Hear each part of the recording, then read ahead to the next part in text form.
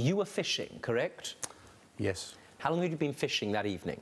Probably about five or ten minutes. Right, so you just cast off, had you, or you just I'd preparing? just about got my tackle into the water. Mistake. It's all right. Having got your, just about got your tackle into the water, did you, did anything bite it? One or two fish, yes.